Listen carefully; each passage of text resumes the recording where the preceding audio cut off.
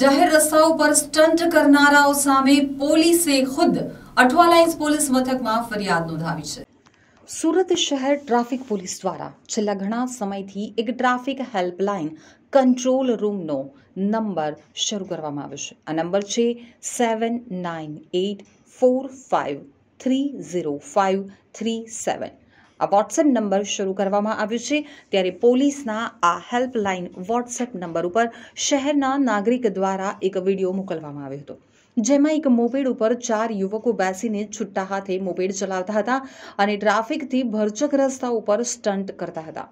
યુવકોની આ રીતે સ્ટન્ટબાજીથી રસ્તા ઉપરથી પસાર થતા અન્ય વાહન ચાલકો અને રાહદારીઓનો જીવ જોખમમાં મુકાયો હતો. ટ્રાફિક પોલીસ પાસે યુવકોની સ્ટંટબાજીનો વીડિયો સામે આવ્યા બાદ તેને લઈ તપાસ શરૂ કરી હતી. ત્યારે આ વીડિયો અઠવા લાઇન્સ પોલીસ મથકની હદ વિસ્તારનો હોવાનું જાણવા મળ્યું હતું. અઠવાલાઇન્સ વિસ્તારના ટ્રાફિક રિજિયન ત્રણની તત્કાલિક આ બાબતે તપાસ કરવા કામે લગાવ્યા હતા. વાહન ચાલક વિરુદ્ધ કાયદેસરની કાર્યવાહી કરવા સૂચના આપી હતી.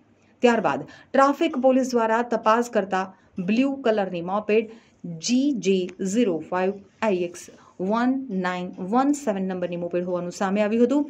જેથી પોલીસ પાસે તમામ વિગત આવી જતા મોપેડના ચાલક વિરુદ્ધ પોલીસે આઈપીસી કલમ બસો ઓગણએંસી ત્રણસો છત્રીસ તથા મોટર વ્હીકલ એક્ટ કલમ એકસો સિત્યોતેર, એકસો ચોર્યાસી મુજબ કાયદેસરની કાર્યવાહી કરવા માટે અઠવાલાઇન્સ પોલીસ મથકમાં ફરિયાદ નોંધાવી હતી.